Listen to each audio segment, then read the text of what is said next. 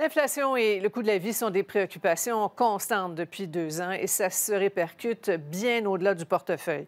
Dans plusieurs pays occidentaux, l'inquiétude se transporte sur le terrain politique et a un impact concret sur des dirigeants comme Justin Trudeau ou Joe Biden. Raymond Filion. Justin Trudeau garde le sourire même s'il est à son plus bas dans l'opinion publique. À peine 28 des répondants à un récent sondage national ont dit avoir une bonne impression du premier ministre.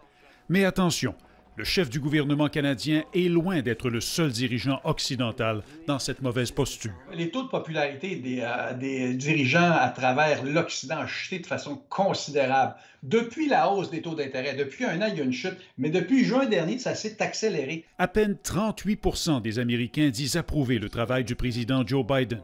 En France, le président Emmanuel Macron ne fait bonne impression qu'auprès de 30 de son électorat, alors que seulement 18% des Britanniques ont une opinion favorable de leur premier ministre, Rishi Sunak.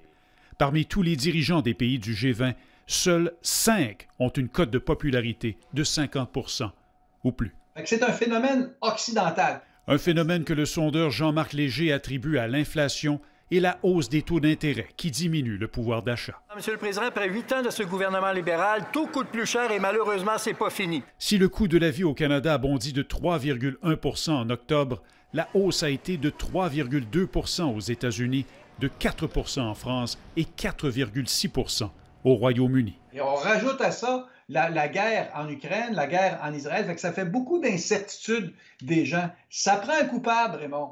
Le coupable, ben, c'est le gouvernement. Au Canada, comme dans d'autres pays, ceux qui proposent du changement ont la cote. Malgré tous ses ennuis avec la justice, Donald Trump demeure à égalité avec Joe Biden dans les sondages pour la présidentielle américaine de l'an prochain.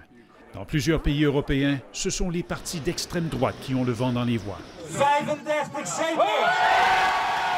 un parti anti-immigrant a récemment remporté les élections législatives néerlandaises.